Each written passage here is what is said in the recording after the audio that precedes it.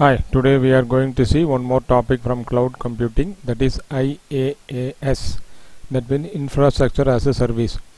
Before that we have seen about SaaS and PaaS that is software as a service and platform as a service. How to access the application that means software application and how to use the platform that is uh, we can say Java platform like that. Using that platform we can develop develop our own software and we can also access the ready-made software by using the SaaS. Now we are going to see about what is IaaS that is EAS we can say. That EAS provides access to the fundamental resources such as physical machines, virtual machines and virtual storage etc. Okay. Through this we can access the physical servers and uh, providing the computer resources. Computer resources means what?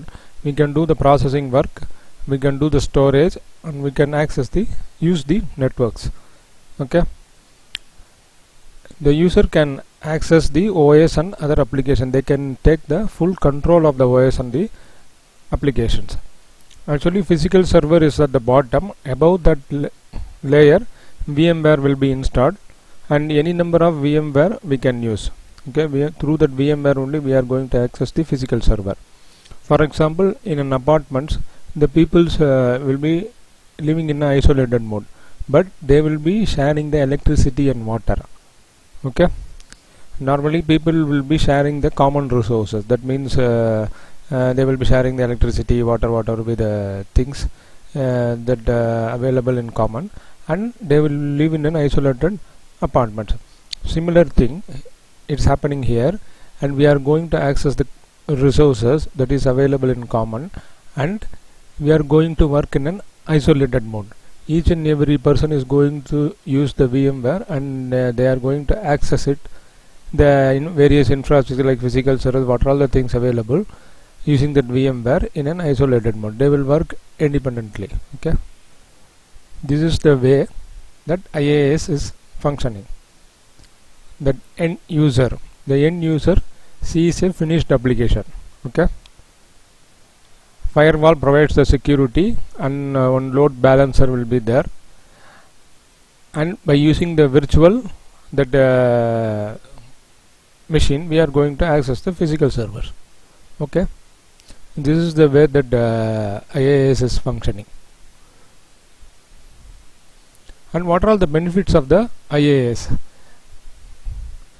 it allows the cloud provider to freely locate the infrastructure over the internet in a cost effective manner okay? And what are all the benefits means? Full control of the computing resources through administrative access to the VMwares. Normally that VMware what we are using will be given one username and password with the administrator privilege so that we can have the full access of the software full access of the OS full access of the application. That means we can uh, take full control of the that application and OS and flexible and efficient renting of the computer hardware. Portability inter interoperability with the legacy application. This we will see one by one. Flexible and efficient renting of the computer hardware. Normally the IaaS resources what are the resources that virtual machines, storages, that IP addresses, monitoring services, firewalls, what are all the resources? All are made available to the consumers on rental basis. Okay, for each and everything, the consumer has to pay the amount based on the amount of time. That means the length of the time the consumer uses the resource.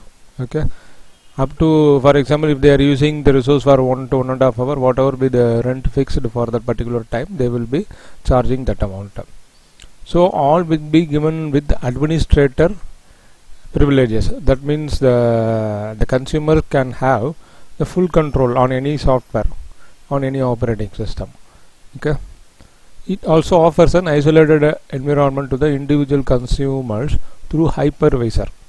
There is one software called hypervisor, which that uh, that is nothing but um, uh, we can say uh, it support for the virtualization. That means uh, VMware uh, applications you might have seen no?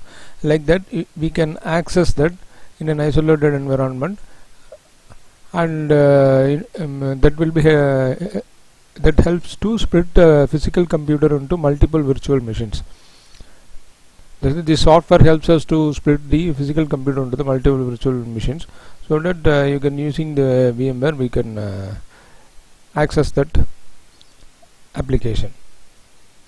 So portability interoperability with the interoperability with the uh, legacy application. So it is possible to maintain the legacy between the applications and the workloads between the IaaS clouds.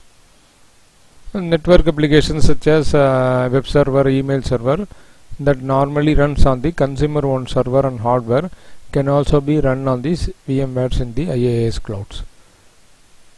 So issues, if you see the issues, uh, some browser based, the same thing what we have seen, browser based risk. We need to exclusively allocate one browser for this IaaS so that um, you should not use the bank related uh, that means uh, accessing the net banking accessing the video games. That should not you should not do here.